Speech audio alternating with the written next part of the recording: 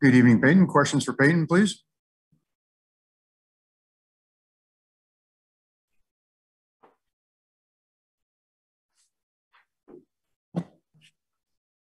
First question, Payton, is from Bob Schron. Thanks, Jeff. Um, hey, kid. Uh, Jaylen was pretty emphatic about you guys not playing with a sense of urgency. Uh, you know, uh, the, clock is obviously getting close to playoff time. Um, and you made that great rush at the end, but uh, particularly in the second, third quarters, there were times when uh, that wasn't there. And uh, just objectively, can you just talk about that, please? Thank you. Um, you know, they hit they hit shots, they hit big shots. Um, when we were trying to make runs, uh, we, you know, we messed up on some defensive uh, assignments sometimes, um, and you know that just doesn't lead to to winning. So for us, is figuring out how to play 48 minutes um, and trying to stop uh, teams' runs like that. Bobby Manning.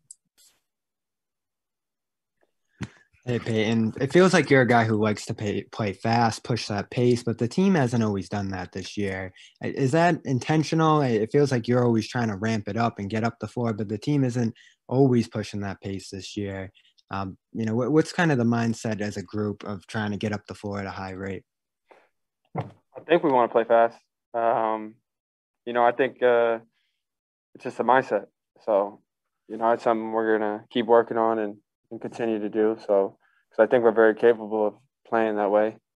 But you know, our focus really just needs to be on the defensive end and becoming a defensive-minded team and really locking in against stops. John Karalis. Hey, when when the other team's going under on screens like they they have been, um, that first shot that you get is that is that a shot you're comfortable with? Do you think that ball should move around and and and you try to hunt for a better shot? Are you are you good with with those first shots you get when they go under? Uh, definitely. I think uh, you know, for me, I think that's a shot I practice a lot. Um, and so, you know, I you know I got to be comfortable with taking that. And you know, if a team goes under, that's you got to make them pay. We'll wrap it up right there. Thanks for your time, Payton.